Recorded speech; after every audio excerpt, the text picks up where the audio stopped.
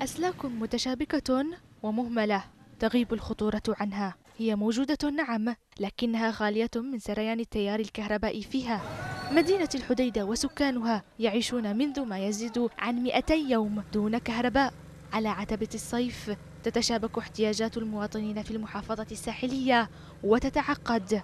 ترتفع معدلات الحرارة فيها إلى حد لا يطاق. لتبقى الحاجة للكهرباء أكثر ما يؤرق أبناء هذه المدينة الساخنة.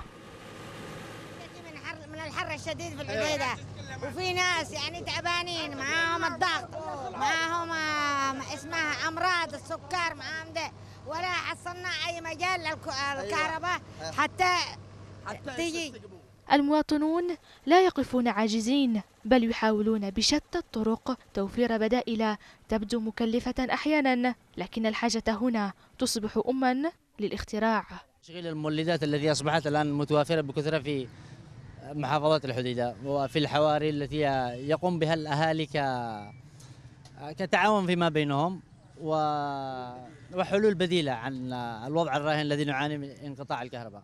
أما الفقراء فهم يلجؤون للأرصفة بحثا عن الهواء المجاني الذي يستطيعون الحصول عليه دون عناء. فجميع البدائل على ما يبدو ليست قادرة على مجابهة اشتعالات الصيف التي لا ترحم خاصة إذا كان هذا الصيف في مدينة ساحلية كالحديدة.